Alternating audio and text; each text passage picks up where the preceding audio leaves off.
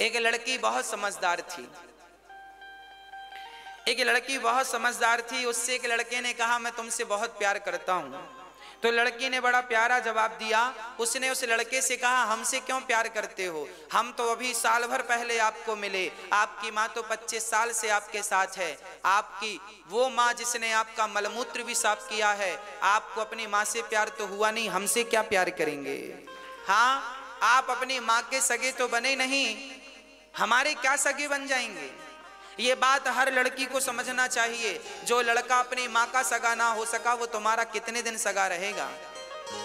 इसलिए ये प्यार व्यार के चक्कर में नहीं पड़ना चाहिए।